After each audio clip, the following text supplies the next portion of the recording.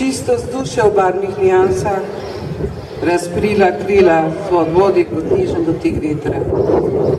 Ko iz drobnega popka odpira svoj beli cvet in pozdravlja soncem obsijan pomladni dan.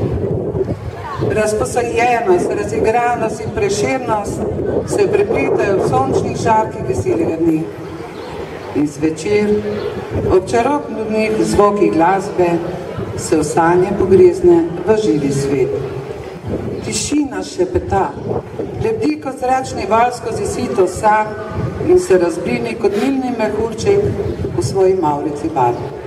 Lejtra har for slavu, en okence ozov, se motrka poskoču.